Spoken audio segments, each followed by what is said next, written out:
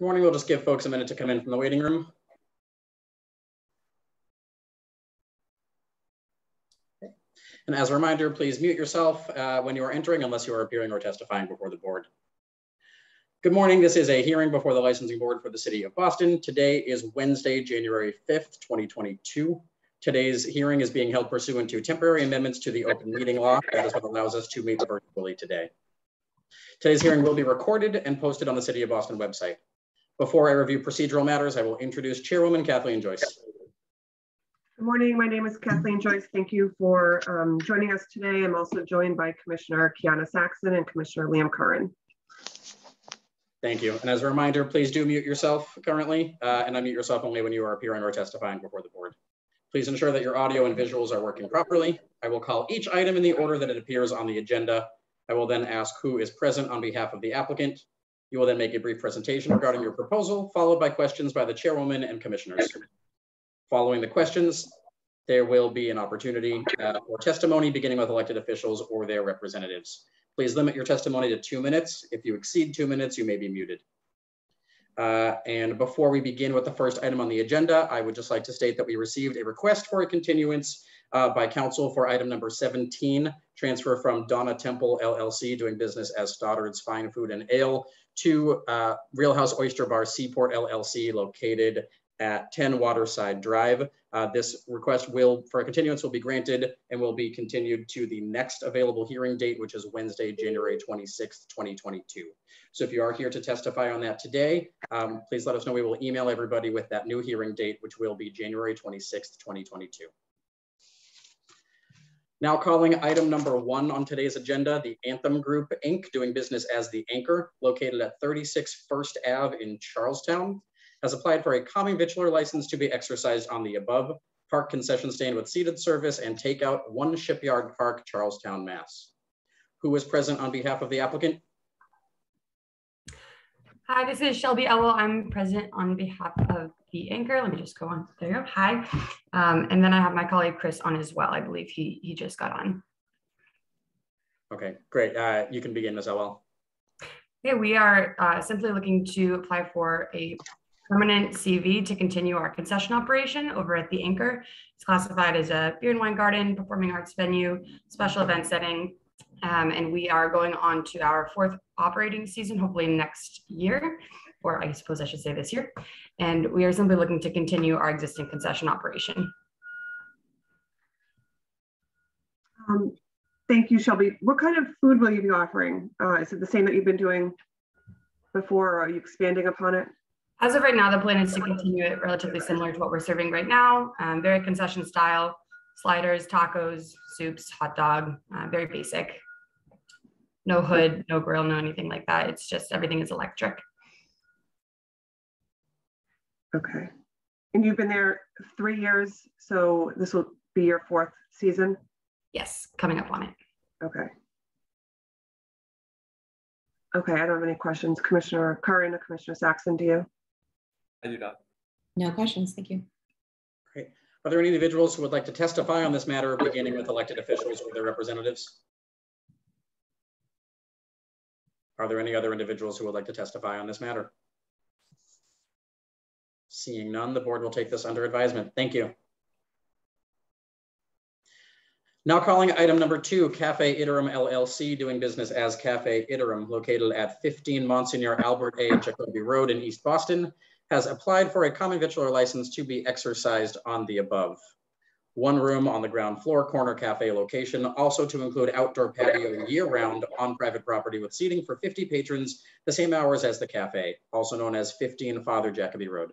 Manager Matthew McPherson, hours of operation 6 a.m. to 9 p.m. Who is present on behalf of the applicant? Uh, Matthew McPherson. Great, you may go ahead.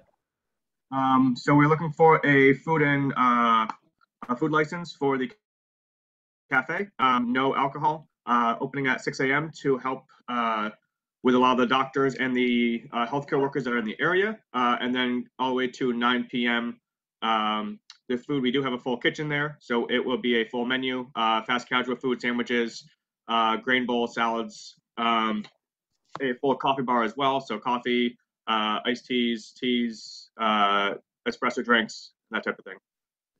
And then we, be- because we do have a full patio on the outside, we're gonna try to do it as, you know, there are some nice days, so we're trying to have the uh, full year-round patio as well, uh, when there's nice days out. Okay. Um, have, are you up and operating now, or is this going to be Uh, new, no, this is, this is a new location. new location? Okay. It's a brand new condo building, so there was nothing previously there is uh, before it. Okay. Um, Commissioner Curran and Commissioner Saxon, do you have any questions? I don't, thank you. I do not, thank you. Are there any individuals who would like to testify on this matter, beginning with elected officials or their representatives? Hi, good morning, Madam Chair, members of the board. Molly Griffin with the Mayor's Office of Neighborhood Services. Um, I'm just speaking on behalf of my former colleague, Lena Tremelli. We want to acknowledge that this application has support from the Maverick Central Neighborhood Association, East Boston Main Streets, and many community members, but at this time, our office would like to defer to the board. Thank you. Thank you. Are there any other individuals who would like to testify on this matter? Um, yes, over here, Maria Eugenia Corvo. I'm here to testify for something else, but this is also in my neighborhood. I just want to give my full support to this application. It's a much needed uh, service coming to this area. Thank you. Thank you. Are there any other individuals who would like to testify? Seeing none, the board will take this under advisement. Thank you. Now calling item number three, RJ Hart LLC, doing business as Mamaleh's Delicatessen, located at 100 High Street, has applied for a common victualler license to be exercised on the above stall in a food hall. Manager Alon Munzer, hours of operation 7 a.m. to 10 p.m. Uh, who is present on behalf of the applicant? Morning, uh, Mr. Green, Dennis Quilty, attorney representing the uh, High Street Place uh, licensee. With us is Lauren Johnson, who's the uh, general manager of the uh, uh, licensee, and Alon Munzer, who's the proposed manager of record. This is a one addition to the food hall at High Street Place, which the board has approved for multiple um, licenses under a management agreement for food and beverage. This will be a CV application only. Uh, and as the name would indicate, it is a delicatessen style uh, operation. Thank you. Um, and this is going to be seven days a week, 7 a.m. to 10? I believe so, yes. Yes. Okay. Thank you. I don't have any questions. Commissioner Saxon or Commissioner Curran? None for me, thank you. I don't, thank you. Are there any individuals who would like to testify on this matter, beginning with elected officials or their representatives? Are there any other individuals who would like to testify on this matter? Uh, yep, I see Vanessa with the hand up. Hi, um, the, Madam Chair and members of the board. Um, this is Vanessa Wu from Councillor Flynn's office. Um, the councillor would like to go on record in support based on feedback from the downtown bid. Thank you. Thank you. Thank you. Are there any additional individuals who would like to testify on this matter? My name's Alon from Mama's Delicatessen. I just want to say thanks for having us and we're excited to be a part of the Boston community. Great. Thank you. Seeing no further testimony, the board will take this under advisement. Thank you. Thank you. Now calling item four, Delta Airlines, Inc., doing business as Delta Sky Club, located at Logan Airport Terminal A in East Boston, has applied for a new common victualler license to be exercised on the above, on the third floor of the satellite building of Terminal A, Gate A17, containing nine rooms, a temporary bar, and food service area. Manager Rebecca Basilla, hours of operation, 4.30 a.m. to 10 p.m. Attorney Joseph Devlin. Attorney Devlin, are you here? Good morning, Madam Chair, members of the board. Elizabeth Pisano from Upton, Connell, and Devlin on behalf of the applicant, Delta Airlines. Uh, the proposed manager of record, Rebecca Basilla, is on here with me today.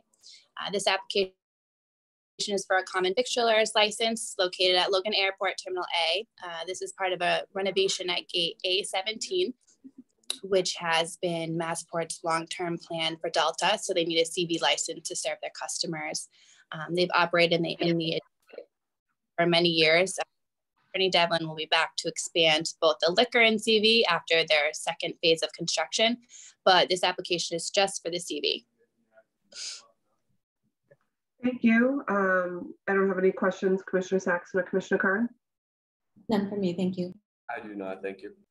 Are there any individuals who would like to testify on this matter, beginning with elected officials or their representatives? Any other individuals who would like to testify on this matter? The board will take this under advisement. Thank you. Now calling item five, 111 East Restaurant LLC, doing business as Lola Burger, located at 11 Fan Pier Boulevard. Holder of a common victualler seven-day wines and malt beverages license has petitioned to change the corporate name of the licensed business from 111 East Restaurant LLC, doing business as Lola Burger, to Lola Burger Boston Restaurant LLC, doing business as Lola Burger. Who is present on behalf of the applicant? I am Sean Morgan. Go ahead, Mr. Morgan. Uh, we are just seeking to change the corporate name as the restaurant concept changed. Um, I don't know what paperwork you'll need from us, but we're just looking to change the name. Everything else stays the same. Okay, Mr. Morgan, just to confirm for the record, there are no operational changes here? No. Okay, thank you. Commissioner Saxon or Curran, do you have any questions? None for me, thanks. No, thank you. Any individuals who wish to testify on this matter, beginning with elected officials or their representatives? Any other individuals who would like to testify on this matter? The board will take this under advisement. Thank you. Now calling item six, Seaport Food and Beverage LLC located at 370 Congress Street, holder of a restricted innholder all alcoholic beverages license, has petitioned for a change in officers, directors, LLC manager of the corporation. Attorney Brian Hughes. Attorney Hughes. Uh, good morning, uh, Madam Chairwoman and uh, fellow members of the board. Uh, I am here on behalf of Seaport Food and Beverage LLC. Thank you.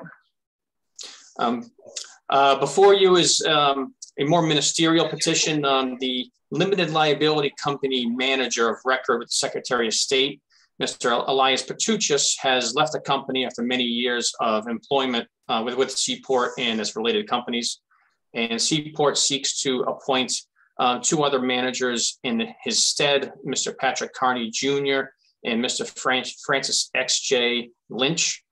Um, they're long-term employees of the what we call the Claremont companies, uh, which is uh, the controlling interest in Seaport Food and Beverage. Uh, there is no uh, operational change here, and um, there's you know nothing on the ground and no um, corporate change other than just who the LLC managers are with the Secretary of State. Thank you, Attorney Hughes. I don't have any questions. Commissioner Saxon or Commissioner Curran, do you have any questions?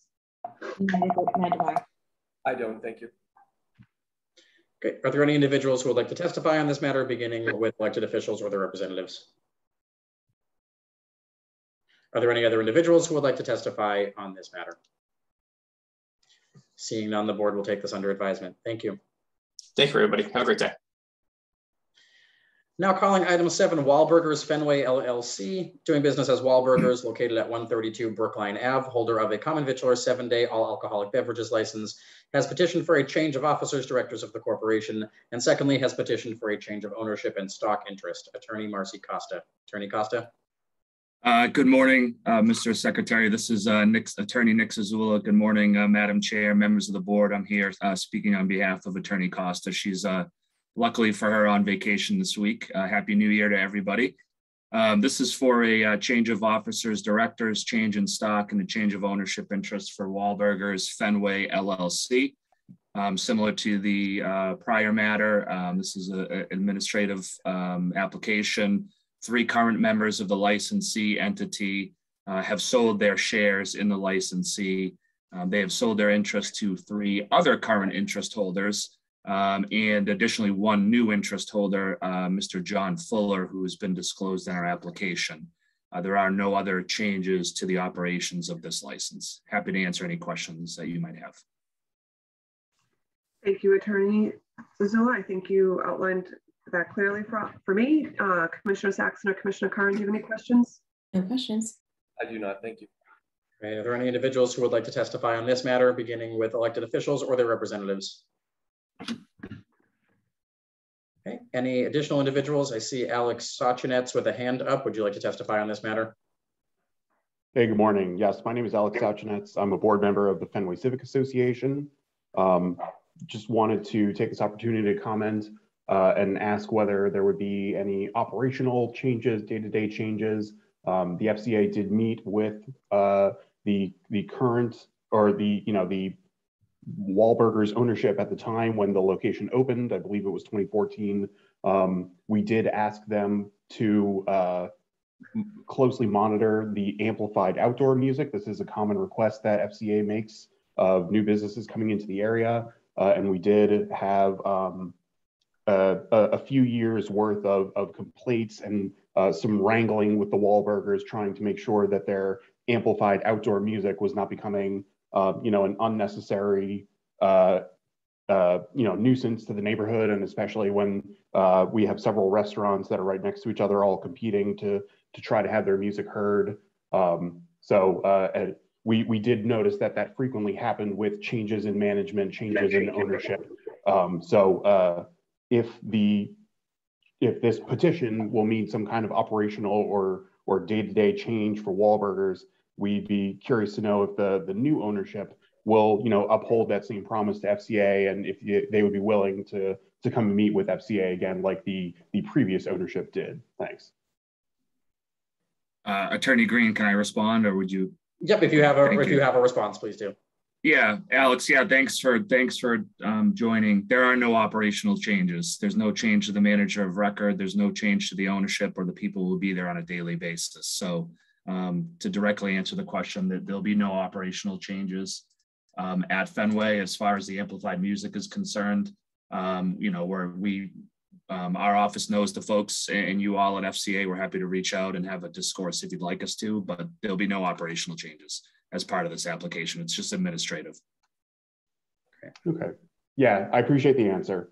Um, Absolutely. I mean, just to satisfy my own personal curiosity, I would be remiss if I if I didn't ask. Is it the the Wahlberg family themselves that are divesting their shares? I'm just curious. No. Oh, okay. All right, great. No, my, my, mine, I would categorize it, Alex, as minor interest holders who are selling their shares to, I believe actually they're they're getting greater shares in the in, in the entity. Understood. So, yep. Very good. Thanks for your time. You're welcome. Thank you, Attorney Zazula. Are there any additional individuals who would like to testify on this matter? Seeing none, the board will take this under advisement. Uh, and now calling item number eight, similar to item number seven uh, with a few changes. Wahlburgers South Bay Company LLC doing business as Wahlburgers located at 9 District Ave in Dorchester. Holder of a South Bay restricted common victualler seven day all alcoholic beverages license has petitioned for a change of officers directors of the corporation. Secondly, has petitioned for a change of ownership and stock interest. Lastly, has petitioned to change the manager of the licensed business from John Rogan to James Smith Jr. Um, Attorney Zazula, I believe this is you as well. Uh, yes, sir. Yes. Uh, good morning, uh, Madam Chair. Again, members of the board, Attorney Nick Zazula, McDermott, Quilty, and Miller, uh, here on behalf of Wahlburger South Bay Company LLC.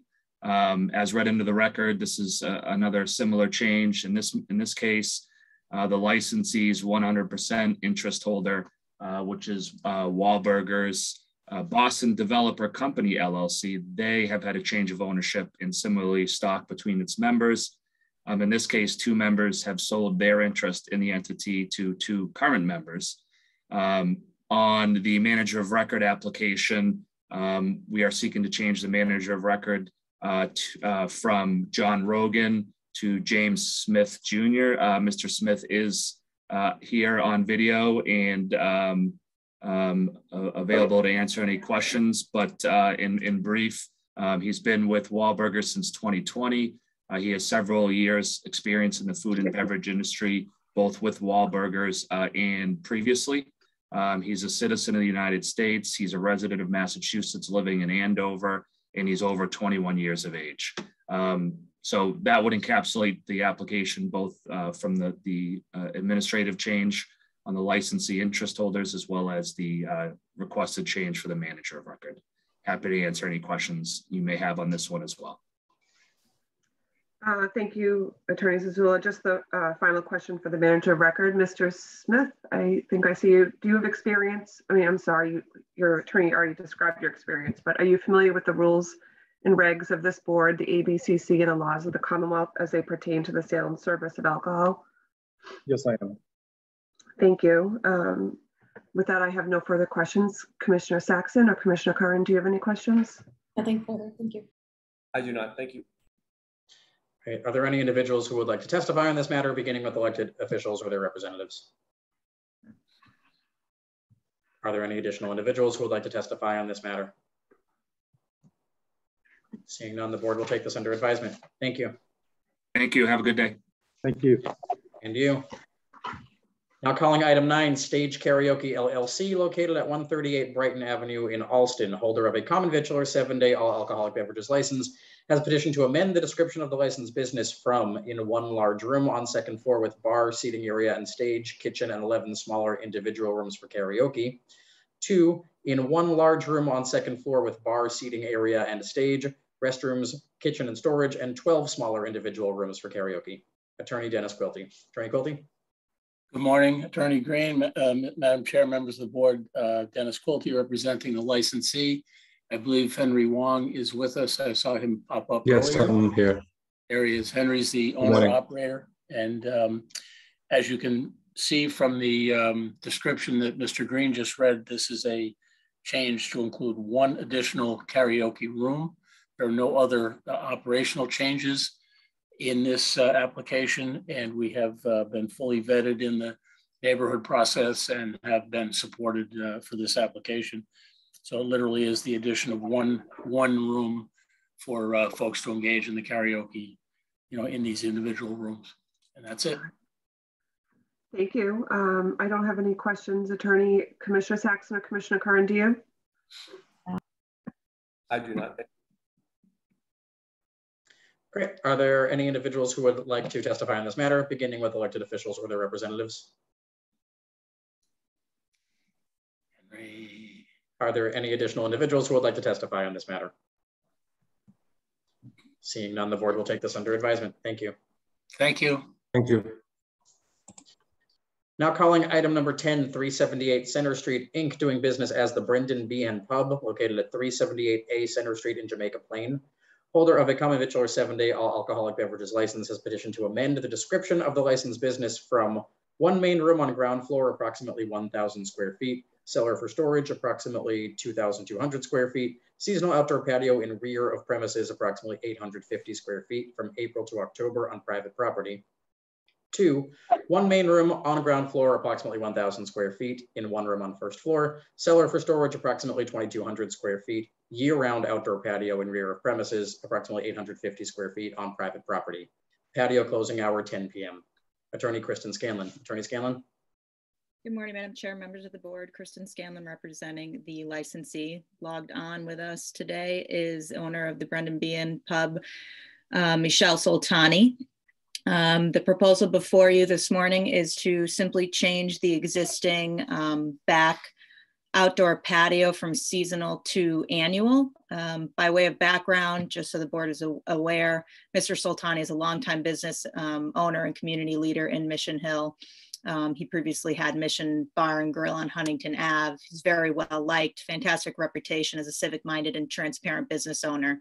Um, this particular pub has been in existence for 30 plus years, um, anchor business of Hyde Square in JP for decades. Um, Mr. Soltani purchased the business in 2007 and actually purchased the building itself in 2017 um, with we did regarding this proposal we did meet um, with abutters um, i believe only the mayor's office uh, attended and also met with the jpnc both were um, who were supportive of the proposal and i believe the board has received numerous letters of support from abutters nearby residents and local businesses as well.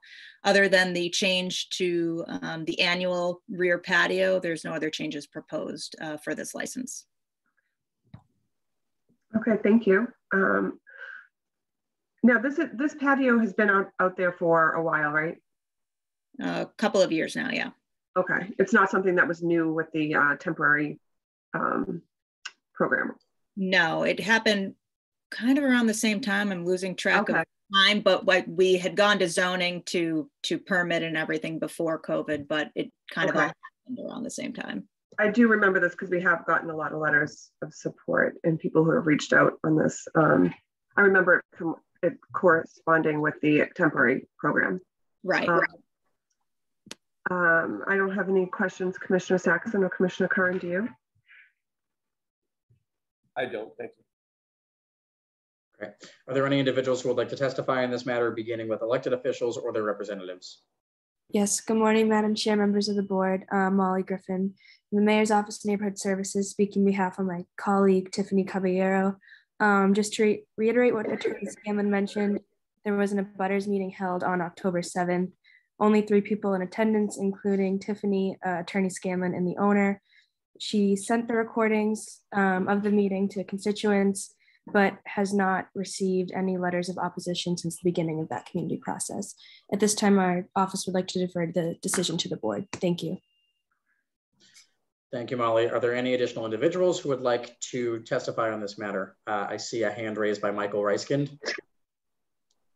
Yeah, my name is Michael Reiskind. I live at uh, 425 South Huntington Avenue in Jamaica Plain.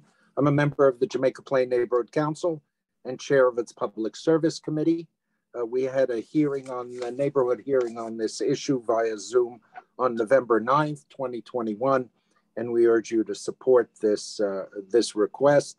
Um, the uh, back patio has been in existence since the application in uh, April 2020. Uh, there's uh, practically no change except for the additional months of use. We um, we did consider one letter from a nearby abutter that opposed it, saying this was a major expansion and would affect the already uh, bad parking at the corner of Center Street and Sheridan Street. Uh, but um, the um, neighborhood council's committee feels this was not really an expansion and, and uh, there was numerous um, testimony that the parking was due to other businesses. So all in all, we urge you to uh, uh, support this uh, request for additional months of use of the existing patio. Thank you. Thank you. Are there any other individuals who would like to testify on this matter? Seeing none, the board will take this under advisement. Thank you. Now calling item 11, Cafe Bonjour Inc., doing business as Cafe Bonjour, located at 55 Temple Place, holder of a restricted common victualler seven-day wines and malt beverages license, has petitioned to change the classification of its license to wines, malt beverages, and liqueurs pursuant to the authority contained in Chapter 481 of the Acts of 1994. Attorney Kristen Scanlon. Attorney Scanlon. Good morning again, Madam Chair, members of the board. Kristen Scanlon representing the licensee. I'm not sure if um, the owner, Deriso Makri, signed on with us or the landlord, um, Sarah Vazirani, but um, those are the representatives from the um, business and the establishment. Um, as far as the proposal is concerned, we're seeking to add cordials to the existing beer and wine license that was granted um, at the beginning of last year. Um, by way of background, and after a significant revival of this space, which is the former Singer Sewing Building in downtown Crossing, Cafe Bonjour first opened in December of 2019. Um, barely three months into the business, obviously COVID began, and no one, of course, is a stranger to how that's affected the restaurant industry. Um, but the landlord, um, in conjunction with the owner, because he obviously wanted to see the business that had just uh, re painstakingly re revised the space um, and opened this business, kind of um, did the did the best they could and started various programs to um, get involved in the community, including Adopt a Doc, Adopt a Nurse programs. Um, they've been a fantastic neighbor and delivering and donating upwards of 10,000 meals to local hospitals, fire department, churches, um, things of that nature. Um, so they've really uh, committed themselves to the neighborhood and have, have been a gem and a great addition to it. Um, the cafe itself is approximately 1,400 square feet with 19 seats. Um, there will be no changes proposed to operations other than the addition of cordials. Um, as far as public need is concerned for this, patrons have indicated it'd be great to um, have a little bit um, more of an elevated uh, brunch or lunch option for cocktail offerings on the menu. Um, and this is a location that is really become a beloved spot and a unique one. There's not much around there that serves breakfast um, all day uh, for the neighborhood. Uh, we did meet with the uh, Midtown Park Plaza Neighborhood Association and Downtown uh, BID, who were all in strong support of this proposal. And at this time, happy to answer any questions or concerns the board might have regarding the addition of cordials. Um, thank you, Attorney Scanlon. I don't have any questions. Commissioner Saxon or Commissioner Curran, do you? I do not. Thank you. Thank you. I don't either. Thank you. Are there any individuals who would like to testify on this matter, beginning with elected officials or their representatives? Are there any other, ah, yes, Vanessa, go ahead. Hi, good Good morning, Madam Chair and members of the board. Vanessa Wu from Councillor Flynn's office. Um, would like to go on record in support based on feedback from Downtown BID, Downtown Boston Residents Association, and Midtown Park Plaza Neighborhood Association. Thank you. Thank you. Are there any other individuals who would like to testify on this matter? Yes, good morning, Danny. Good morning, Madam Chair, board members. This is Mary Higgins. I'm representing the Midtown Park Plaza Neighborhood Association. We'd like to go on record in support of this application. Thank you. Thank you. Are there any other individuals who would like to testify on this matter? The board will take this under advisement. Thank you. Now calling item 12, the Wine Bar LLC, doing business as 49 Social, located at 49 Temple Place, holder of a common or seven-day all alcoholic beverages license, has petitioned to transfer the license from the above to K&K Restaurant Group, Inc., doing business as Estella at the same location. Manager Helder Brandeo, closing hour 2 a.m. Attorney Adam Barnoski. Attorney Barnoski. Thank you, Mr. Green. Good morning, Madam Chair, members of the board. Adam Barnoski, 255 State Street in Boston, on behalf of the applicant. With me is Helder Brandeo, the principal owner and manager of record, and Joseph DePina, who is the operations manager. We're here regarding a same location transfer of an all alcoholic beverage license, which was previously held by the wine bar uh, at the same location operating as 49 Social. The property is located in the heart of downtown Crossing near the intersection of Washington and Temple. It's located on the first two floors of a mixed use building which consists of a restaurant and office uses. It's approximately 4,000 square feet of space with seating for 150 patrons, seeking a closing hour of 2 a.m. seven days a week. This will be primarily a dinner destination. However, all floors will be open for food between 11 a.m. and 2 a.m. The upper level will be occasionally reserved for corporate and private events. Uh, and we are having some discussions about uh, options for breakfast depending on the uh, demand and inter interests of the neighborhood and customer base. The manager of record is Helder Brandeo, who goes by George. He uh, has extensive business experience in Boston. He has owned several businesses and, and run them successfully uh, in the area. A resume was provided as part of the application uh, package, uh, which details his experience. He will be on site 40 plus hours a week Mr. DePina will serve as the operations manager, and we anticipate that uh, during the initial stages of, of, opening this restaurant, we'll bring in uh, Mr. DePina on a, a, change of manager application, and he will oversee the operation on a day-to-day basis once the uh, business is up and running. From a licensing perspective, while the concept is new in name, the use and operation will be similar to the prior restaurant that was on site, similar hours, seating, and uh, customer base, there's no intensification of use here. There's no increase in the occupancy or seating. There will be some aesthetic changes to the restaurant, but no major construction. Uh, the applicant anticipates opening sometime this winter or early spring, depending on the approval process. Uh, George, Joe, and his team have met extensively uh, with the community groups, including uh, members of Council Flynn's office, Downtown BID, uh, MPPNA, and the Office of Neighborhood Services. Happy to answer any questions the board may have. Thank you. Um, I don't have it here in front of me. How many seats at this location? Uh, I believe the seating is 150 and occupancy is 251. Okay. Um, and Mr. Brandeo, are you a citizen? Yes. Are you a resident of the Commonwealth? Yes. Do you have experience in the food and beverage industry? Uh, yes. Are you familiar with Joe? Is Joe has a plethora of experience. Okay. Are you familiar with the rules and regulations of this board, the ABCC, and the laws of the Commonwealth as they pertain to the sale and service of alcohol? Yes. Okay. And just uh, for clarification, is are you going for an entertainment license here? Yes. Okay. I will discuss that at a different time, but okay. Um, I don't have any questions, Commissioner Saxon or Commissioner Curran, do you? None from me, thank you. At the moment, thank you. Okay. Are there any individuals who would like to testify on this matter, beginning with elected officials or their representatives? Yes, good morning, Madam Chair, members of the board, Molly Griffin with the Mayor's Office of Neighborhood Services. Um, just to reiterate what Attorney Barnoski mentioned, the applicant met with Councilor Flynn's office, the downtown bid, the Midtown Park Plaza Neighborhood Association, and with my colleague John Romano um, from ONS. Uh, at this time, our office would like to defer this decision to the board. Thank you.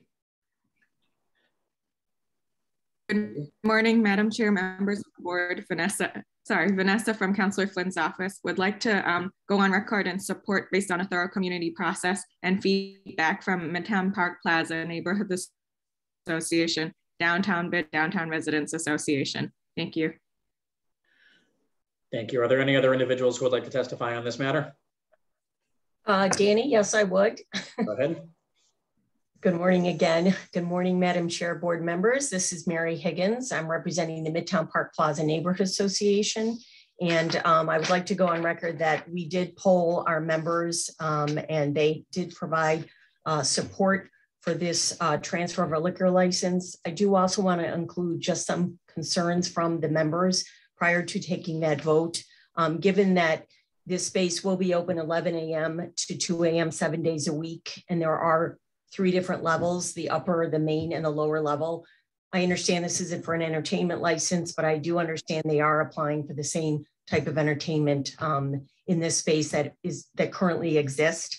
Uh, we just want to make sure that this stays predominantly as a restaurant, operating as a restaurant, even though there may be some entertainment going on in the lower level. Thank you. Thank you. Are there any other individuals who would like to provide testimony on this item? Seeing none, the board will take this under advisement. Thank you. Thank you.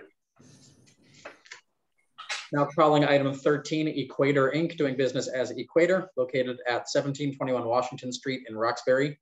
Holder of a common victualler seven-day wines and malt beverages license has petitioned to transfer the license from the above to P&Y Ventures Inc., doing business as Yunnan Kitchen at the same location. Isha Zhu Su, manager, 11 p.m. closing hour. Attorney Mei Hui Hu. Attorney Hu? Yes.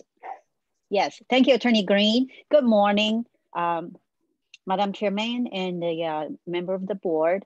Uh, I represent the applicant uh, for the transfer from Equator to PNY Venture Inc. Um, the uh, principal and the proposed manager, Isha Xu. She's also here with me today. I didn't see her. Uh, yes, I'm here. Okay, great. Um, the the uh, husband and wife team, uh, Isha Xu and her husband, Patrick, they have been operating a successful restaurant out of Brighton and uh, for the last five years, uh, they also at that Brighton location had a, a, beer and wine license as well. And I think uh, the husband wife team, uh, this is their second business. And uh, with the same concept, it's going to be a noodle studio with the um, alcohol license, beer and wine service uh, to enhance the, the, the menu they're serving. And um, uh, Ms. Xu Isha. Um, she has experience in operating in that current restaurant and the, the new restaurant. She is also taken up the uh, tips training. And um, so I uh, highly recommend her. We also went through the um, neighborhood process, vetting process we have uh, received over, overwhelming positive um, review from uh, the neighborhood association. And we're here to answer any question the board might have. Thank you very much, attorney. Just a couple um, manager record questions to make sure we get on the record for Ms. Xu. Are you a citizen? Yes, I am. Are you a resident of the Commonwealth? Yes, I am. And are you familiar with the rules and regulations of this board, the ABCC and the um, laws of the Commonwealth as they pertain to the sale and service of alcohol? Uh, yes, I am. Okay, thank you. I probably should have asked this at the outset. Are, are you already approved manager by this board? Uh, yes, uh, I'm certified. Okay, all right, thank you very much. I don't have any questions. Commissioner Saxon or Commissioner Curran? Nothing further, thank you. Nothing for me, thank you. Uh, sorry for interruption. Uh, sorry, Attorney Green, sorry. I forgot to mention one thing. We actually submitted two applications. One with the uh, CV license with the alcohol license, which will be, if the board approve us, will go to ABCC for further approval. We also asked for, uh, submitted another application without alcohol license. And uh, hopefully this will get approved and we can open the business without alcohol license as we waiting for the ABCC approval. Okay. Great, thank you for that. Are there any individuals who would like to testify on this matter, beginning with elected officials or their representatives? Are there any other individuals who would like to testify on this matter? Seeing none, the board will take this under advisement. Thank you. Thank you very much. Thank you. Now calling items 14 and 15 as they concern the same licensee uh, transferring to the same applicant. Item 14, UMNVAG Kenmore LLC located at 28 Commonwealth Ave. And item 15, UMNVAG Kenmore LLC located at 498 Commonwealth Ave. Holder of a common victualler seven-day all alcoholic beverages license has petitioned to transfer the license from the above to BR Kenmore LLC doing business as Blue Ribbon Brasserie, Blue Ribbon Sushi, Pescador at the same location. Robert Allen Anderson, Jr. Manager, closing hour 2 a.m. Lastly, has petitioned to pledge the license to UMNVAG Kenmore. Attorney Dennis Quilty. Attorney Quilty. Thank you, Attorney Green. Uh, Good morning again, Madam Chair, members of the board. This is the, uh, I think, long-awaited revitalization of these spaces in the Hotel Commonwealth in the heart of Kenmore Square. Uh, These uh, applications, these locations were formerly the well-known uh, Eastern Standard at the 528 Commonwealth Avenue end of the building and the former Island Creek Oyster Bar at the 498 Commonwealth Avenue end of the building. You may recall that we were in front of you uh, in the recent past to transfer from those entities to the current holder of the license, UMNVAG Kenmore LLC, which is the uh, basically the landlord, and suggested to you at that time that we would indeed be transferring out to a new operator as soon as possible. Uh, we have gone through this with the uh, local organizations, Kenmore Residents, Kenmore Association, Mayor's Office, Councilor Bach, uh, and everyone is fully aware and understanding of what these applications are. We propose to bring uh, a new first-class operator, the Blue Ribbon Group, uh, who will operate at the uh, 528 location, the, their brasserie and sushi concepts, uh, and at the uh, 498 location, Pescador, which is a seafood operation. Uh, so our, our hope is that when uh, we are ready to go, these uh, licenses and these restaurants will again revitalize this portion of Kenmore Square. And um, hopefully this is the start of uh, restaurants coming out of COVID. Let's hope. We have Mr. Anderson is here as the manager of record. Um, I know Mr. Jamin is here representing the current licensee, and certainly we're available for any questions you might have. Thank you, Attorney Quilty. Just because we're on Zoom, uh, could Mr. Andrew, I don't see him on my page. If he could just say his name, maybe it'll pop up on my computer Actually, screen. Mr. Anderson, are you here? Oh, Yes. it's Good Okay. morning, Madam Chair, members of the board. This is Rob Anderson. There you are. Glad to see you. This is Rob. Okay. Um, are you already a, uh, an approved manager of record by this board? I'm at a food safety manager. I'm not sure what by this board means. Okay. But in the state of Massachusetts, I am. Okay, I just wanted to, I didn't want to repeat the manager of record questions if we had already approved you for a different location, but I will um, go through them for both 14 and 15. Are you a citizen? Yes. Are you a resident of the Commonwealth? Yes. Do you have experience in the food and beverage industry? Yes. Are you familiar with the rules and regulations of this board, the ABCC, and the laws of the Commonwealth as they pertain to the sale and service of alcohol? Yes. Great, thank you. Um, I don't have any questions. Um, I think this neighborhood will be looking forward to these places reopening. Commissioner Saxon or Commissioner Curran, do you have any questions? Nothing further. Thank you. I do not, thank you. Are there any individuals who would like to testify on this matter, beginning with elected officials or their representatives? Are there any other individuals who would like to testify on these uh, items? No, seeing none, the board will take these items under advisement. Thank you. Thank you. Thank you. Now calling item 16, Baked Daily Corporation doing business as Panificio located at 144 to 162 Charles Street, holder of a common victualler seven-day wines and malt beverages license, has petitioned to transfer the license and the location from the above to Immersive Art Space Boston LLC, located at 130 Columbus Avenue, Saunders Castle at Park Plaza. The premises consist of approximately 14,642 square feet of exhibition space on the first floor, main entrance on Columbus Avenue, restrooms on first floor with additional restroom and basement, retail area and bar area, three exits to alleyway, exit at rear, two exits on Columbus Ave. Closing hour 11 p.m. Secondly, has petitioned to change the license category and type from a Section 12 restaurant common victual or seven-day wines and malt beverages license to a Section 12 general on-premises wine and malt beverages with liqueurs. Maria Shklover, manager, attorney Patricia Farnsworth. Attorney Farnsworth. Good morning. Uh, thank you, Attorney Green. Trish Farnsworth with Lawson and Weitzen in Boston. Good morning, Madam Chair and members. Um, with me as well is Maria Shklover. Um, see her, she's the producer and a partner um, in Immersive Art Space Boston, and she will also be the um, proposed manager on the license.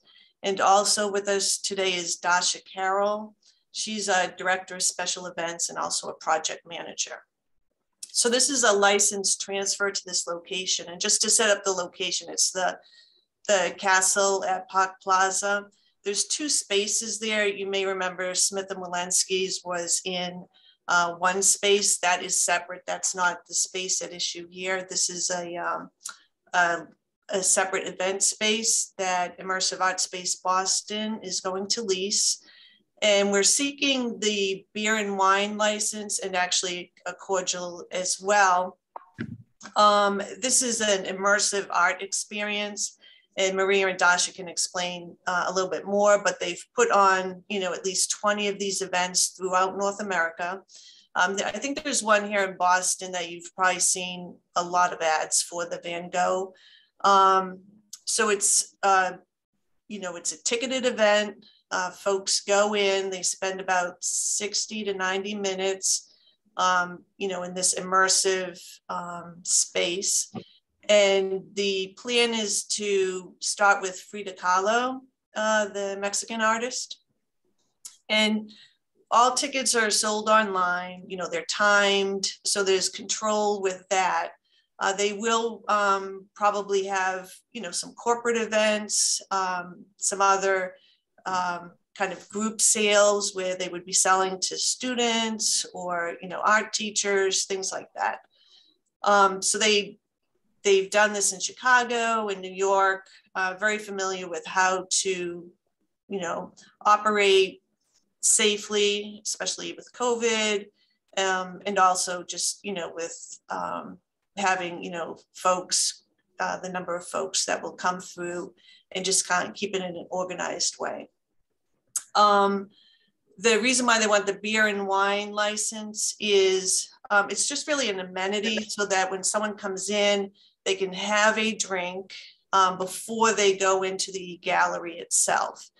Um, they this is not a restaurant, so we are seeking a general on-premise license. There's no food preparation on site but there will be prepackaged food available uh, for purchase. So folks can, you know, get their glass of wine or beer, enjoy that, and then go through the exhibit space. Um, and then when they exit, they exit, you know, in a separate exit area. There will be a retail shop. So it's not that they come back and then have another drink or anything like that. Um, so it's I, you know, similar to kind of the Wang where you go see a show at intermission, you go out, you have a drink, you go back in. Um, but they, you know, will probably want to do use this license as well for, you know, a corporate event or some other event. So that's why um, the license uh, we would seek. Um, the, we have met with the Bay Village Neighborhood Association. I, I know Sarah's on, and we're, you know, working out a um, you know, the good neighbor agreement. Um, you know, they're concerns with hours and all. What we're seeking is a midnight actually closing hour for Friday and Saturday. And um, Bay Village would like it just be 11, their, their standard time for the other, the other days of the week. Um, so Maria is, she, you have her resume, but she's, you know, been involved in this business, is a partner in the business, um, has been on a liquor license, I, I believe in Chicago. She can tell you more about her experience, but she does live in Connecticut. She will be relocating here. She has a place to live here. So she will be on the, ma the manager on the license here, get this, you know, up and running and, you know, be on hands-on. And then it probably at some point, we may be back to, um, you know, appoint a, you know, a, a different general manager for the license. But for purposes of now, um, it's Maria. So I think maybe I can turn it to Maria and she can tell a little bit more about her experience and, um, you know, hit on things I didn't talk about with respect to the whole concept. Thank you, Trish. Hi, good morning. Uh, my name is Maria Shklover, and I'm a producer of Immersive Van Gogh and Immersive Frida experiences. Uh, by the way, just wanted to clarify, we are not the ones um, already in Boston it's a competitor. It's like uh, the other business. So if you've heard about the Immersive Van Gogh in Boston, that's not us. Um, we've been uh, open since pandemic in uh, started in Chicago. And uh, since then, uh, uh, during this year, we opened about 20 different immersive experiences um, um, in the United States and um, in New York and Chicago and you name it. Um, and we've been very successful. Uh, we run um, liquor license and uh, the bar um, in Chicago and New York uh, successfully. So people buy a drink and go to see the art exhibit. The um, tickets are timed and uh, the experience is very um, uh, creative. It created created by uh, Italian designers and Italian artists based on the um, in in in this Boston instance is on the paintings of the Mexican um, artist Frida Kahlo. Uh, and we are very excited to be in Boston um, and uh, hope um, that the community would be happy to have us. Uh, thank you. So um, I'm sorry, Attorney Farnsworth, do you have more to present? Nope, nope that's fine. Questions. Okay.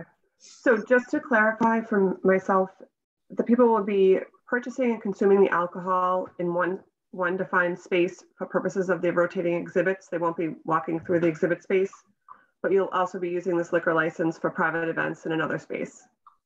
Yes. Not in, in um, the same space. Same if, space. If you have. Hmm. If we have a, I mean, it's a it's a drill hall, so it's about fifteen thousand square feet. Okay. Uh, it's called the drill hall. Uh, so people will enter. The floor would be you enter, you um, pass the bar. Whoever wants to have a drink, they can buy a drink. Then they will go to the exhibit. They will never come back to the um, bar area after that because the flow goes to the store uh, through different experiences uh, within the exhibit and to the exit. Okay. Um, and when do you plan on moving to Boston? Do you have a lease already in Boston?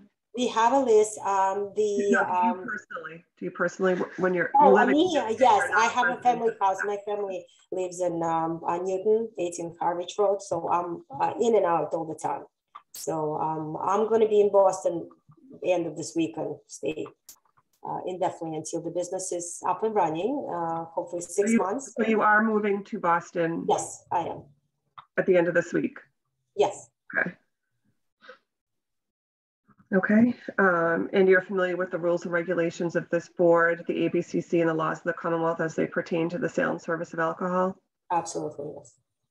Okay. Uh, Commissioner Saxon and Commissioner Curran, do you have any questions? You might have answered this before, but how large is the area where the drinks are going to be served? how large? I mean, I can address that. Um, the bar is planned as a dry bar. It's going to consist of uh, one or two six foot panels with storage underneath, and it'll be on a rubberized surface. It'll be sort of a setup that's ready to be put away. so that it can be set up and broken down um, each night. So it's about a six to 12 foot counter and the area uh, around it to allow for queuing, but it'll happen at the entrance to the gallery. So people will pass through it as they walk in. Thank you. And just one final question, not to jump in front of you, Commissioner Curran, but um, we have four total manager record questions. I just want to make sure I covered them all for the public record. Are you a citizen? Yes. Okay, great. Commissioner Curran, to you. Not at the moment. Thank you. Are there any individuals who would like to testify on this matter, beginning with elected officials or their representatives? Hi, yes. Uh, good morning, Madam Chair, members of the board. Kim Crucioli with the Mayor's Office of Neighborhood Services. Um, the applicants received no opposition from the community and they went before the Bay Village Neighborhood um, Licensing and Planning Committee um, and they were non-opposed as well. At this time, the Mayor's Office would like to defer to the board on this matter. Thank you. Thank you. Yep, Vanessa, go ahead. Good morning, Madam Chair, members of the board. Vanessa from Councillor Flynn's office would like to go on record in support based on the non-opposition from Bay Village Neighborhood Association and a tentative community agreement on quality of life issues such as closing time. Thank you. Thank you. Are there any other individuals who would like to testify on this matter? I see Sarah Hurley yes, with a hand raised. Yeah, so Sarah Hurley on behalf of the Bay Village Neighborhood Association. Um, this is a little bit of a, a, new and unusual space for this particular um, building, or new, a new and unusual use for this particular building. It's a long-term exhibit. I believe what was represented to us is that the intent is for people to be able to pick up a, a drink and walk through this space. Um, we have reached an agreement on hours, which is that, you know, Sunday through Thursday, it would be an 11 p.m. closing time with liquor stopping at 10 p.m. Friday and Saturday, a 11 p.m. liquor service end time and a midnight closing time, with the understanding that they may come back for particular licenses for special events, but that those would be the hours. So we would ask that any vote be subject to those hours. We would also be uh, asked that the um, the board subject any vote to the good neighbor agreement, which I believe we are finalizing um, very shortly. The one issue that has been raised by the presentation by the um, attorney and the, the, applicant is that they are seeking a cordial license. Um, when they came before us on December 21st, the representation is that they were not clear that they were going to seek a cordial license, but then they started talking about doing, you know, drinks involving tequila because it is a Frida Kahlo exhibit, and that would be a, a, a logical co-sponsor. Um, we do not support a cordial license, the expansion of this to a cordial license at this point in time without further discussions. I do think that that would be appropriate for them to operate for a period of time in this very kind of novel concept for the space and for our neighborhood, and then come back to seek an extension for a cordial license. Um, again, somebody talking about tequila on a cordial license concerns us. Um, and this is an operator that hasn't operated in the area before in a new space and a new a new program and again, we are talking about, uh, you know, tens of thousands of square feet, I believe, for people to be wandering around with a cocktail. It's a large capacity potential for, you know, potential for it to go bad.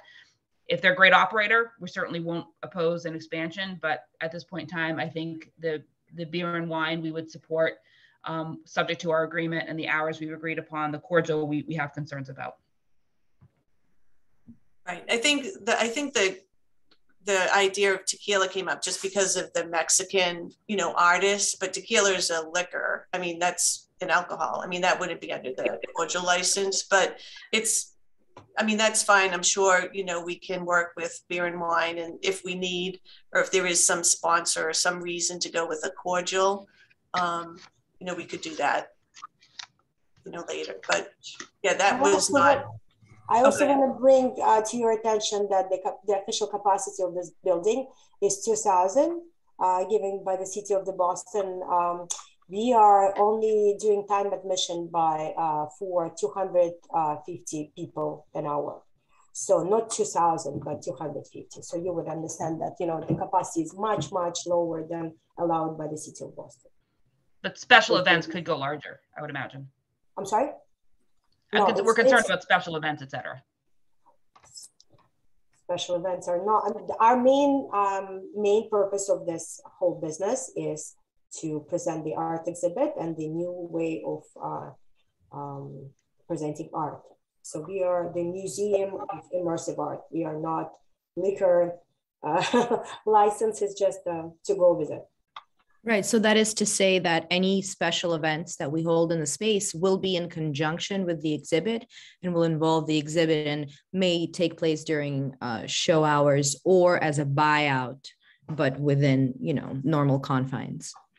So we're not planning to kind of hold a rager. Thank you. Are there any additional individuals who would like to testify on this matter? Seeing none, the board will take this under advisement. Thank you all. Great. Thanks for your time. Thank you. Thank you. And for those who may have missed the announcement at the beginning of the hearing, item number 17 has been uh, rescheduled due to a request from the applicant for further community process. Um, this will be continued to the next transactional hearing, which will be Wednesday, January 26th, 2022. Now calling item 18 Verpa Corp doing business as Square Bites located at 38 Maverick Square in East Boston has applied for a retail package store wines and malt beverages license to be exercised on the above. Premises is a one-story pre-existing structure containing approximately 3,335 square feet, 1,528 square feet in the storefront and 1,807 square feet in the basement used for dry storage. Manager Adisha Patel, closing time 11 p.m. Attorney Jeffrey Drago.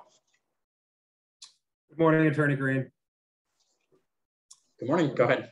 Chair, members of the board, uh, Attorney Matt Eckel from Drago and Toscano on behalf of Virpa Corp. Also with me is Disha Patel, the proposed manager of record. As mentioned, we are seeking a wine and malt beverages package license for a new retail market to be known as Square Bites at 38 Maverick Square. The premises to be licensed is located on the first floor of an existing building with storage space in the basement. Uh, this store is proposing to offer general groceries, including uh, fruits, vegetables, cheeses, crackers, boxed goods, uh, and if approved by this board, a wide variety of, of, beers, craft beer, uh, wines, etc.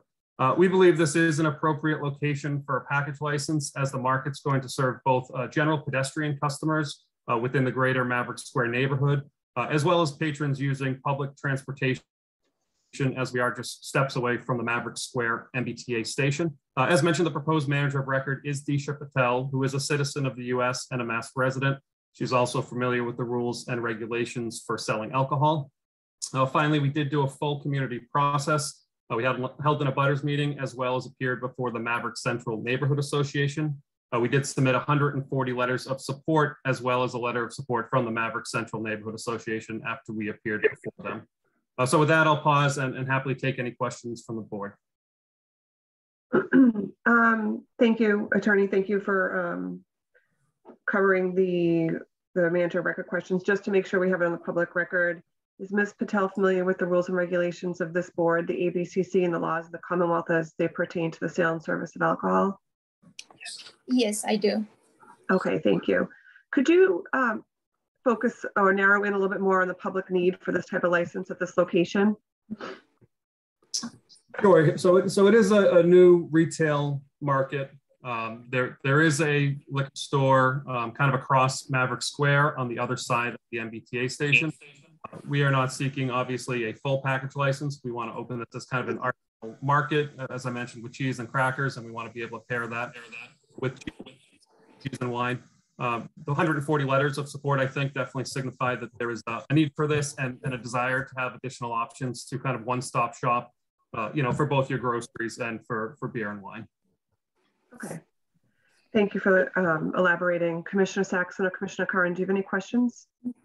Nothing further, thank you. at this time, thank you. Thank you. Are there any individuals who would like to testify on this matter, beginning with elected officials or their representatives? Yes, good morning, Madam Chair, members of the board, Molly Griffin with the Mayor's Office of Neighborhood Services.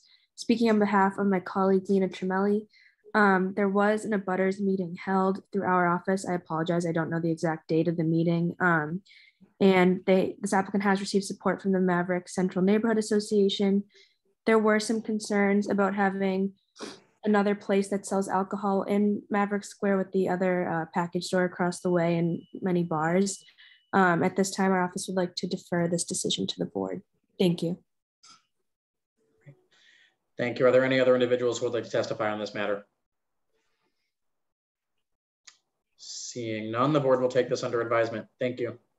Thank you very much. Thank you. Now calling item 19, Wilbur Collective LLC, doing business as Pearl and Lime, located at 99 to 101 Border Street in East Boston, has applied for a common victualler seven-day all alcoholic beverages license to be exercised on the above. Premises is comprised of 3,626 square feet on one floor with one entrance and four exits. 3,071 square feet inside and 555 square feet outdoor annual patio property with 40 seats. Hours of outdoor patio, 11 a.m. to 10 p.m. Manager Vanny Kakobian, closing time 1 a.m. Attorney Andrew Upton. Attorney Upton. Uh, good morning, everyone. Andrew Upton for the applicant, and with me are Vanik, uh, the proposed manager of record, as well as his uh, partner, owner, and operators. We're asking for a new all alcohol license for this exciting concept in East Boston. Pearl and Lime is a fresh pan Latin concept with a neighborhood price point and a commitment to being part of the community. Fresh food and a comfortable modern atmosphere and decor will be the calling cards of this new neighborhood restaurant. The character and fitness of this applicant is clear. This is the team that's behind Pearl and Lime in Quincy. In Quincy, they're a family-friendly, fresh pan-Latin concept that has become a neighborhood fixture and that has no violations or complaints from their neighbors. They've proven this concept and are excited about this East Boston location. Uh, further, their landlord, NOAH, which stands for Neighborhood of Affordable Housing, is an affordable housing developer, and the developer has chosen this team due to their sensitivity to the residents, the neighbors, and the community. Uh, Vanik Hagopian will be the manager of record. He has extensive experience in the industry. He's a lifelong East Boston resident, uh, except when he was a professional skateboarder in California for a few years. Um, and he and his family are part owners of this restaurant. He's a US citizen, a Mass resident, He's got plenty of experience and he is familiar with the rules and regulations. Uh, there's also a strong public need for a license in this location. Um, there's an obvious economic need for a license to support a moderately priced restaurant. There's a landlord who selected these operators as the best candidates to run a restaurant at this space. In the last couple of years, there was another proposed office operator who would not commit to a food first neighborhood concept and could not generate enough support for their application. Pearl and Lime has gotten unanimous support from the MCNA, and we have not received any opposition thus far. Uh, we have also submitted a letter of support from City Councilor Lydia Edwards, also known as Senator-elect Lydia Edwards, and from Representative Adrian Madaro. Uh, I just want to mention that we've told the neighbors uh, during our outreach that we are not creating a nightclub, we're not having a dance floor, we're not featuring any live bands, and we're not catering to a sports bar type crowd. We are only going to be applying for non-live entertainment that will include TVs and background music. Uh, now I'd like to have Vanik describe a few of the details of the restaurant. Uh, we've submitted a PowerPoint to the board, but he'll summarize that to save time. But uh, if you want to flip through it, it has some good pictures and descriptions. Of course, we're glad to answer any questions at any time. Thank you. Thank you, Andrew. Thank you, members of the board, for hearing us out. Um, my name is Vani Kakobian. Uh, I'm a lifelong resident of East Boston, originally growing up in the Eagle Hill neighborhood. And I, uh, for the past 20 or so years, I've been residing in Jeffries Point, uh, during which this, all this time I have been in the hospitality industry.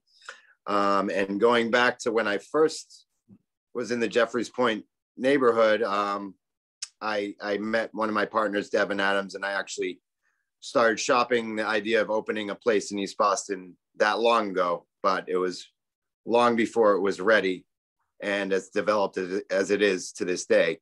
Um, and my main goal, not only is it a dream to have a restaurant in my neighborhood, but it's to provide something that we, we don't really get um, as industry workers um, living in East Boston. And more and more industry workers are living in East Boston these days. And we would like to provide the same type of service that we offer to our guests in East Boston, rather than having to having to stay in Boston and dine out in Boston, then pay for an Uber to come home, rather than you know being able to get get something in the neighborhood that we live we live in. Um, when Devin and his partner Palmer opened Pearl and Lime in Quincy, uh, their second restaurant during the pandemic. It was an immediate hit. And me living in East Boston, my family and I would travel all the way to Quincy to get this experience that they are offering. And with the opportunity that NOAH has offered us in this building, um, we want to bring this to East Boston and we don't want to take away from the already huge Latin population there is. We want to add to it and provide a type of atmosphere that will kind of take give give the guests guests an experience of escapism when they come in. We are offering a type of Latin cuisine, tapas cuisine that you know covers Mexican, Central American, some South American, um, all kind of ranging, you know, kind of across the board, but with a, a focus on service.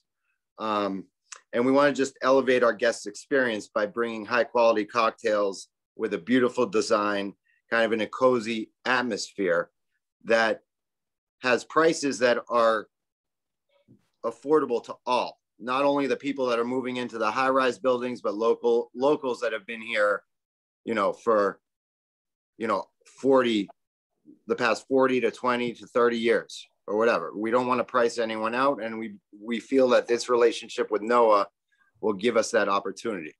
Um, combined, we have over 50 years of hospitality industry experience, um, working with the likes of Todd English, uh, Garrett Harker, and Jackson Cannon with the Island Creek and Eastern Standard Group, and Barbara Lynch and John Gertsen from the Drink Drink uh, Cocktail Bar. Um, all of us are are tip certified, experienced in um, sort of you know proper alcohol serving, you know certification, all that. Um, and I don't know if there are any questions for for any of us. Um, we'd be happy to answer them. Thank you for your time.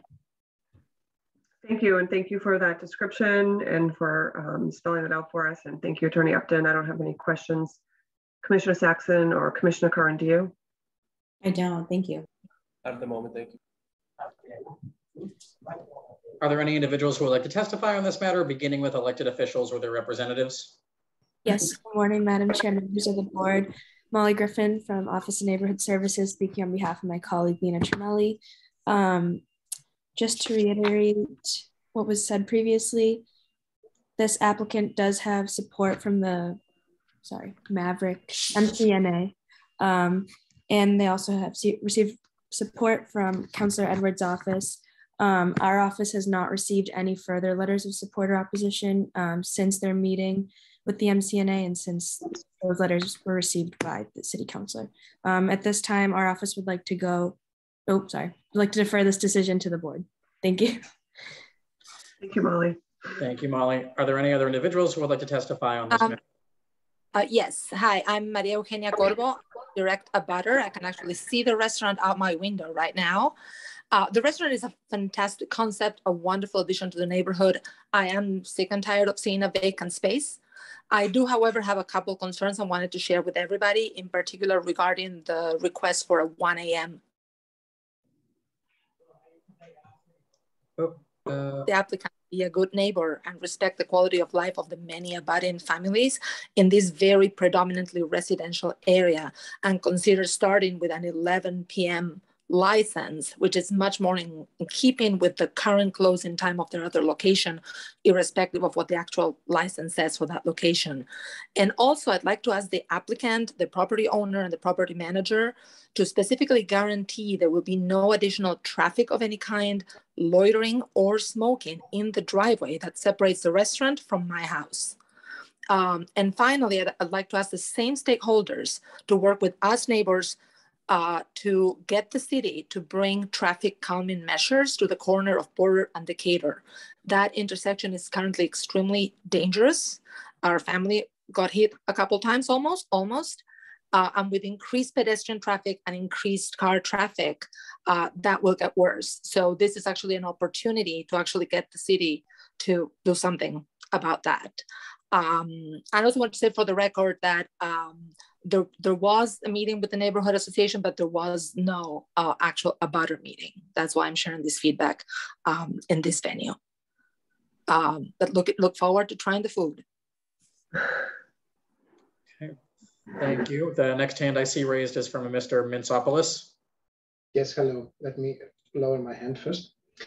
Um, so I would like to echo the same sentiments. Uh, I do feel that this would be a wonderful addition to the, the region. Uh, I do think we need a great restaurant in the area and we're all up for it.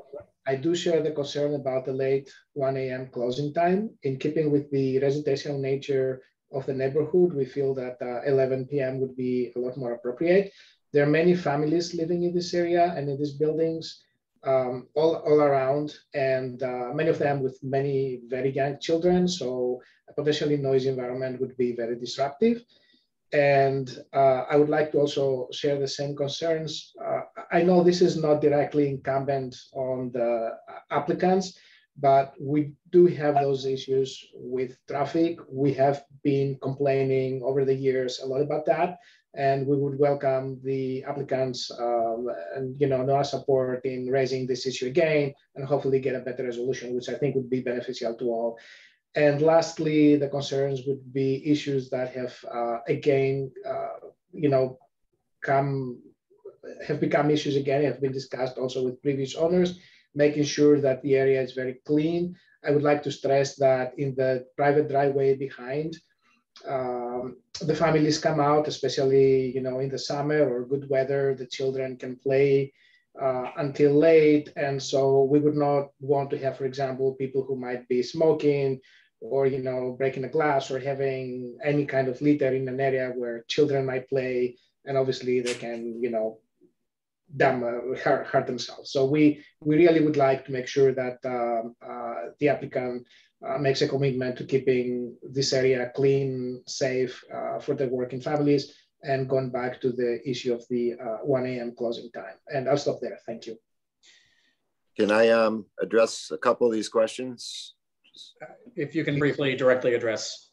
Um, as far as uh, the, the driveway area is concerned, that would um, that would not there would not be any traffic from guests of the restaurant. That would the only use of that back door would be for employees of the restaurant, um, whether it's to take the trash out or loading and unloading um, shipments, which would occur during the day.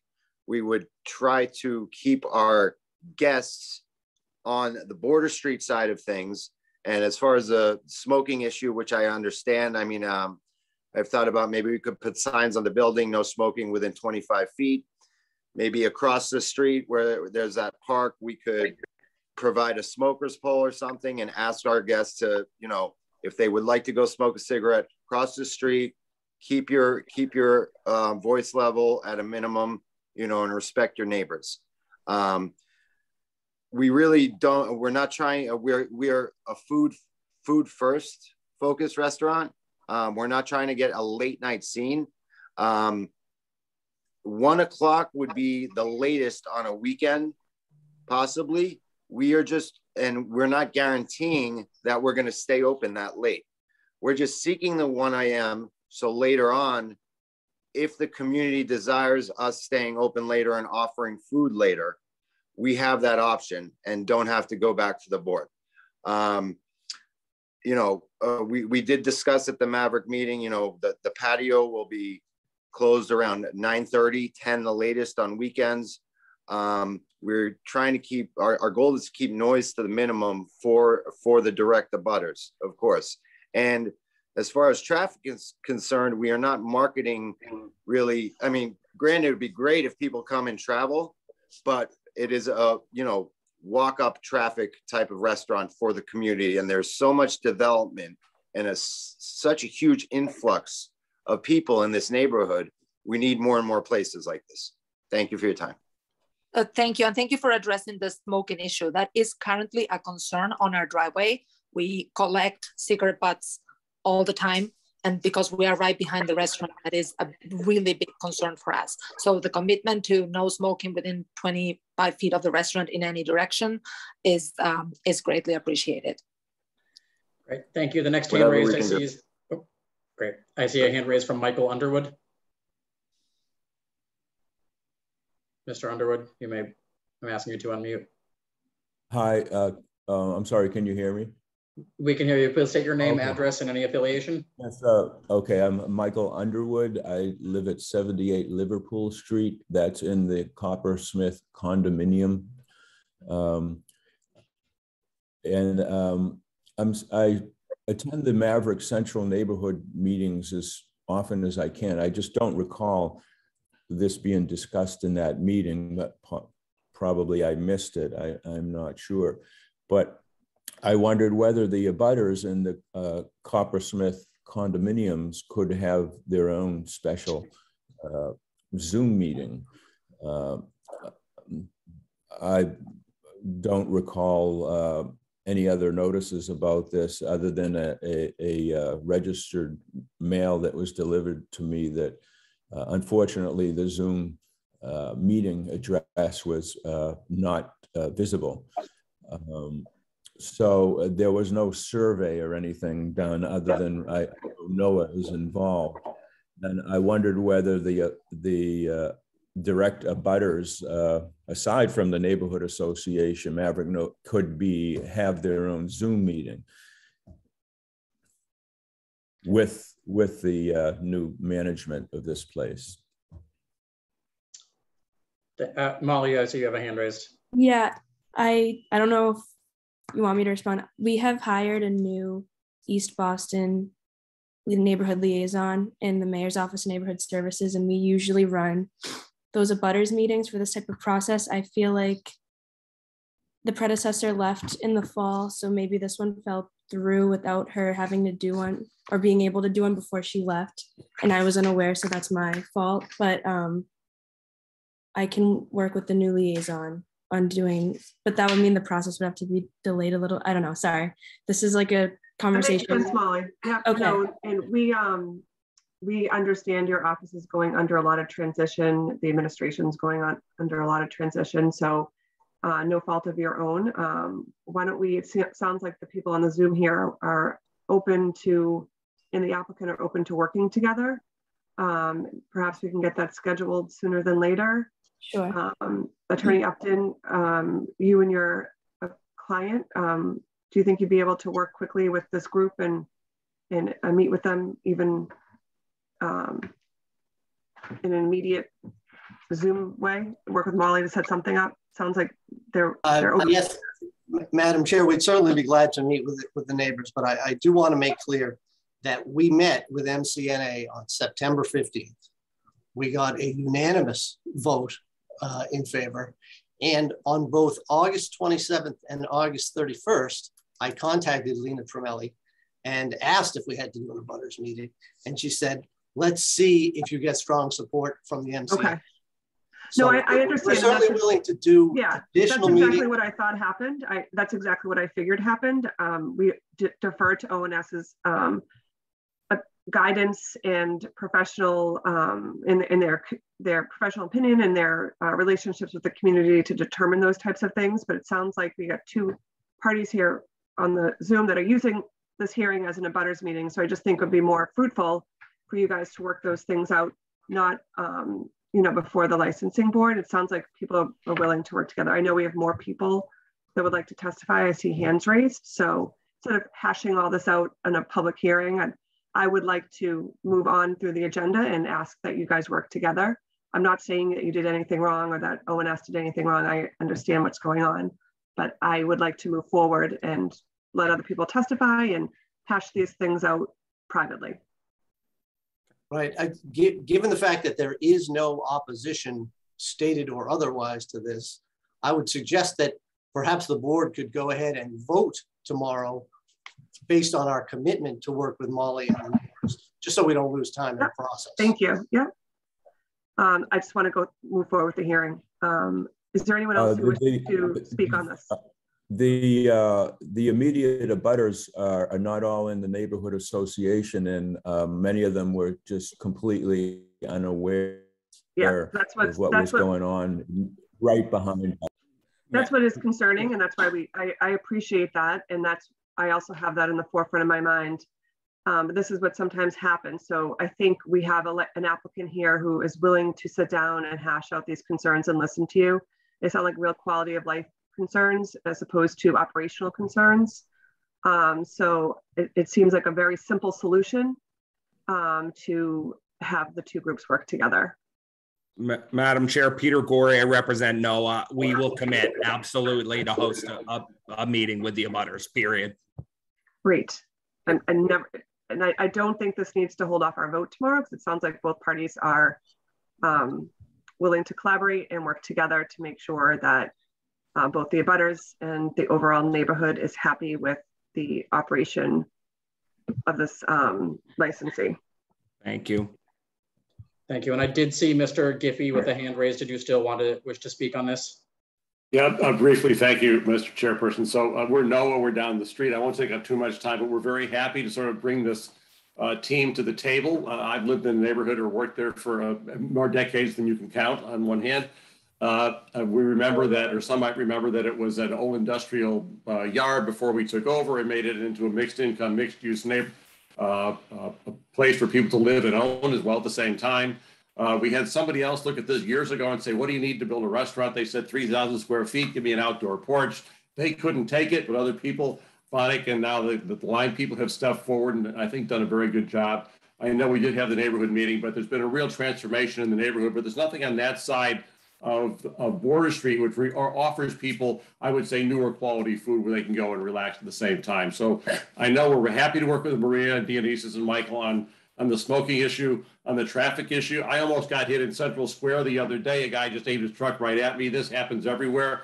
We've heard this concern before. If anything else can be done with Molly or the new team, we'd be very happy to have that happen on Border Street and uh, Liverpool Street. So we're very happy to welcome the team here. I know they'd be happy to have a neighborhood meeting we look forward to getting this going as soon as possible. We've been waiting for years to make it happen. So it'll be a welcome addition to the neighborhood. We're happy to work with you. Thank you for your time.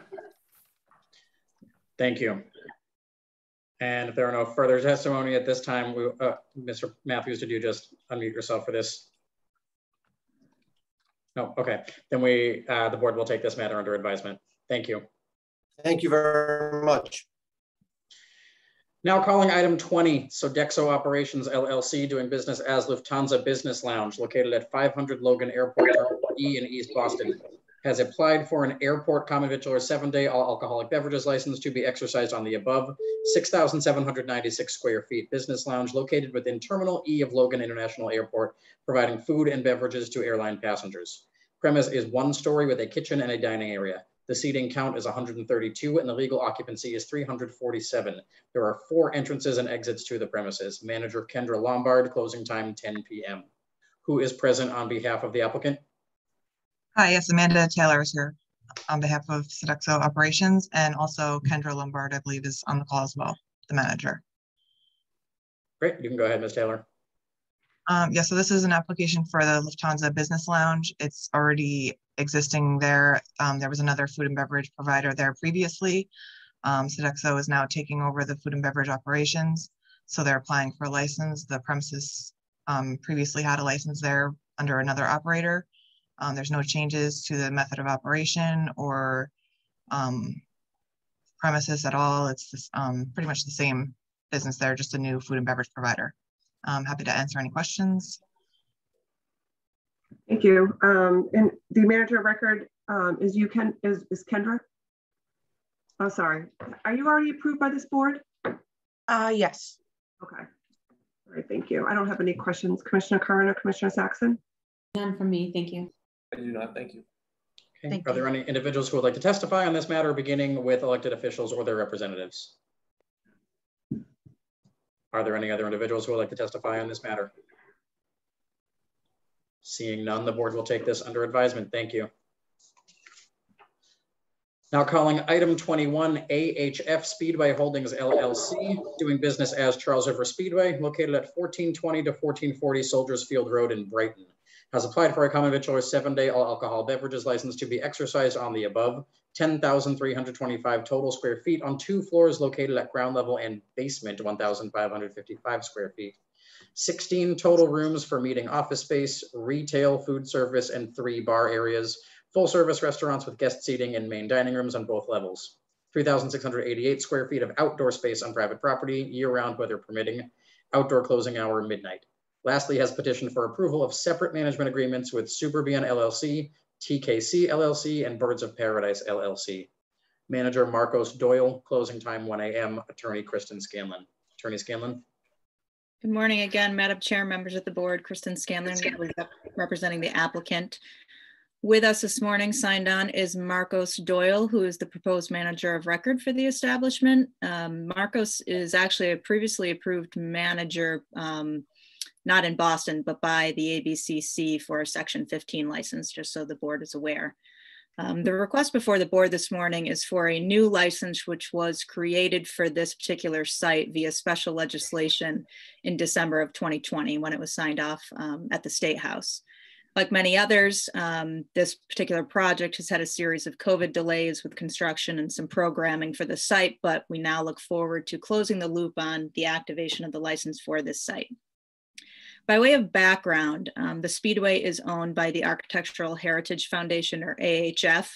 Um, it is a Boston based 501c3 nonprofit, which was originally formed in the late 60s to help save local architectural icons such as Old City Hall. They were previously the long-term stewards of Old City Hall through a long-term lease administered by the BPDA. And since uh, its inception, AHF has been dedicated to the preservation and economic sustainability of historic resources within the community. Uh, they're definitely a mission driven organization ready to step into complicated and long term projects, just like the Speedway, where conventional developers might turn away. Um, the Charles River Speedway headquarters was originally built in 1899 and is located at Western Avenue and Soldiers Field Road. Um, it's been a complicated project, but it does have a unique place within local and regional history. Um, it's made up of six contiguous buildings built around a courtyard, and while it has served many uses over um, the past several um, decades, centuries. Uh, it's been vacant for years until AHF took it over.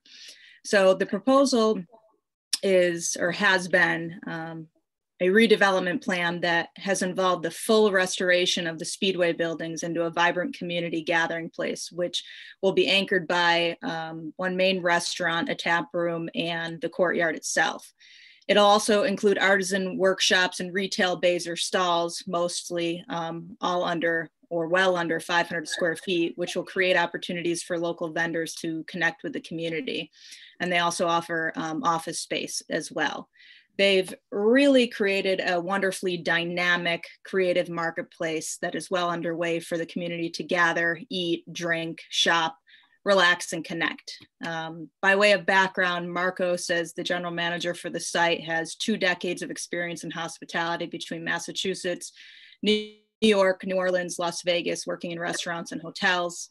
Um, he has, um, as I previously mentioned, experience owning and operating a Section 15 uh, store in Ipswich and um, oversaw the food and beverage program at the Plaza Hotel in New York City. Was also a restaurant supervisor at the Mandarin Oriental in Las Vegas. So his experience is definitely varied and expansive and a wonderful addition to oversee the retail programming for this particular site. Um, as far as details of the two businesses that have entered into management agreements so far um, with with the Speedway, first is um, Super Bien, which their core concept is the sale of empanadas, but they'll offer an expanded menu, um, a South American tapas menu serving primarily South American wines, and in one of the stalls, it's approximately 460 square feet. The other is a 256 square foot stall um, by the Koji Club, which is a sake bar they'll offer packaged snacks and small bites and they are completely built out and um, ready to go and, and, eager to open up to the community. Um, we are in the process of working through a third um, management agreement and we'll come back to the board um, when that's completed for the anchor restaurant at the site um, as far as hours and days of operation are concerned, the proposed hours are 10 to 10 a.m. to 1 a.m. daily with a midnight outdoor um, closing hour. Because this is a new license, and as far as public need is concerned, um, the Speedway is activating a long vacant major site, and they're really activating it with an incredibly community-driven purpose. In addition to obviously the food and beverage operators that they've signed on, They've also signed on a salon, an ice cream vendor, a houseware store, and they have already um, hosted and will continue to do so uh, several community markets, including Black owned Boston, vintage markets, the Boston's Women's Market, yoga events and the Cambridge Art Association, even as a residency. Obviously, um, given that information, that it's very telling that the focus is on local businesses and local vendors and smaller spaces, which is really a win-win for the operator and the community alike from an, from an affordability and convenience standpoint and really gives people an opportunity to connect with their neighborhood and the community and showcase their talents and offerings. Um, the Speedway has really painstakingly restored a community resource um, while answering existing and new demand for amenities and services along the Western Avenue corridor, including um, several hundred um, residential units that have come online within the past few years, including directly across the street. Um, the license will give ultimately tenancy greater chance of success by reducing upstart costs, which we all know for restaurants can be quite enormous and it will really secure into the future, um, which is a huge advantage. Circumstances change with the food and beverage tenants. At the end of the day, it's truly an economic development tool and levels the playing field for smaller operations to have a chance again to showcase their businesses in an affordable and visible way. As far as community outreach is concerned, since 2014, um, the Speedway and AHF has have held nearly two dozen meetings with local elected officials, stakeholders, residents, abutters, um, including in addition to city council regarding the, obviously the redevelopment, the site specific license that was created by the, le the legislation. Um, we know, obviously, because we were copied on it as well, the board received an email this morning. Um, and first and foremost, I want to just say we are incredibly appreciative of um, the neighborhood organization's ongoing support and collaboration with the Speedway's efforts to get this project off the ground. Um, and of course, 100% defer to the board, but would respectfully request that we're allowed to proceed um, with a vote on this matter, um, given that the overall plan with the 22 meetings that have been held um, has not changed for the plan for tenant operators, retail and restaurant activation that would occur within the marketplace that was being created by this redevelopment at the site um, in hasn't changed in the community presentations or presentations before city council um, and through iterations of the license um, legislation that was ultimately approved. So with that being said, we're certainly happy to continue to meet with BAIA or ACA and any other organization who would like updates on the programming for the site and happy to commit to um, any meetings that they have scheduled for next week or the week after to um, provide those updates. Um, again, we do have tenants who are ready to go and whose livelihood depends a bit on this proceeding and are eager to open and um, to the community and close the loop on full activation of this long planned site. Uh, appreciate your time. I know that was long winded, but it's an important site and I feel like the details um, were important on that today and happy to not take up any more of your time and answer any questions or concerns the board might have regarding the proposal. Uh, thank you, Attorney Scanlon. Um, before I get to um, my manager of record questions. I just want to say thank you to Mr. Doyle. This was a very complicated application. We've been working with him and the team for several months on this, going back and forth between the ABCC and our office and the management team, trying to figure out um, where the alcohol would be served and enjoyed by patrons. Um, and I want to appreciate your patience with us as we try to um, work with the ABCC and figure out um, how this would all um, shake out at this location because it is so unique. So with that, uh, Mr. Doyle, your, um, your attorney did describe your, your lengthy experience in the food and beverage industry, but the other three questions I want to get on the record. Um, are you a citizen? I am. Are you a resident of the Commonwealth? I am. Um, and are you familiar with the rules and regulations of this board, the ABCC, and the laws of the Commonwealth as they pertain to the sale and service of alcohol? Yes, I am. Okay, thank you. I don't have any questions about this application, Commissioner Curran or Commissioner Saxon, do you?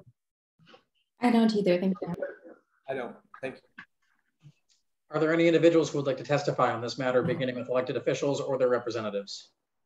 Yes, Madam Chair, members of the board, Connor Newman with the Mayor's Office of Neighborhood Services. At this time, the Mayor's Office would like to defer to the judgment of the board. Uh, by way of some background information regarding the community process, the Mayor's Office conducted abutters meeting on May 23rd of 2019. Uh, that same year, uh, the applicant also presented to the Brighton Allston Improvement Association and the Allston Civic Association. Uh, since then, as the applicants alluded to, there's been a lot going on regarding the pandemic and other setbacks uh, for the project. Uh, the BAI has offered their support and feel comfortable with the proposal going forward. Uh, the Allston Civic Association leadership has expressed concerns about this board taking a stance before their membership has heard all the details regarding the most recent proposal. I see representatives on from uh, Rep Mike Moran's office and Councillor Breadon's office. I'll, I'll defer to them as well. Thank you. Thank you. Um, I see a hand raised from Councillor Breadon's office and Rep Moran's office. Um, Councillor Pam Mullaney, you would like to go ahead? Good morning um, and Happy New Year, Madam Chair and members of the board. Uh, this is Pam Mullaney on behalf of City Councilor Liz Breadon. Um, Councilor Breadon would like to go on the record and acknowledge the hard work of the former City Councilor Mark Ciommo and Representative Mike Moran, the Ar Architectural Heritage Foundation, and others who brought this development to the neighborhood. It stimulates community growth and cohesion, and importantly, supports small businesses. Um, the development has recently sponsored pop-up events in the courtyard, is visible over social media to the community. Um, as the representative from Office of Neighborhood Services um, described, there has been community process. Uh, Councilor Brereton has reviewed the um, history of the meetings from 2014 to 2019. There is a bit of a gap in connection with the Allston Civic Association, um, mostly during the pandemic, um, since the September 2019 meeting. So Councilor Brereton will offer support for the application uh, and ask the board to consider a proviso that the board delay approval until the proponent goes to the Allston Civic Association this month and discusses the special speedway licensing legislation, as well as the separate management agreements with Super Bien and Birds of Paradise. Uh, Council Brereton believes it's important for the members of the Allston Civic Association and neighbors to understand the details of the restaurant and bar operations. And that's it. Thank you. Thank you. Uh, Jen from uh, Representative Moran's office. Thank you so much, Danny, and uh, thank you to Chairwoman Joyce as well. Um, Rep Mike Moran, who represents Allston Brighton, the 18th Suffolk District, um, wrote this legislation that helped make this entire project viable. Um, and there was a long legislative process, and it was ultimately passed and signed by the governor in December of 2020. He supported that legislation and advocated for that legislation back then, and obviously still supports the project to this day. Um, in particular, because the Speedway has been, you know, really great, fantastic community partners. They've organized food drives and resources for their neighbor, the Charles River Health Center, during the height of the pandemic.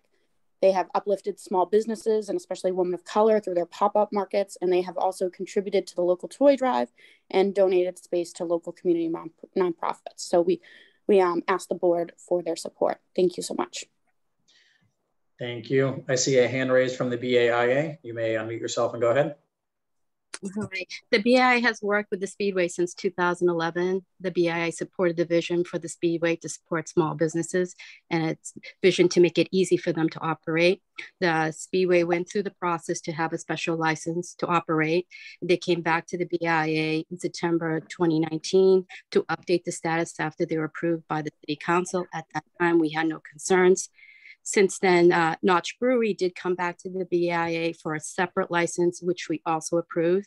But uh, we look forward to uh, having uh, the Speedway support small businesses under this umbrella license, uh, and we are in support. Thank you. Thank you. Are there any additional individuals who would like to testify on this matter?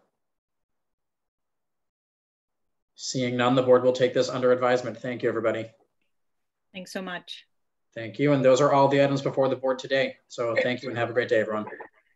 Thank you. Thank you. Thank you. Thank you.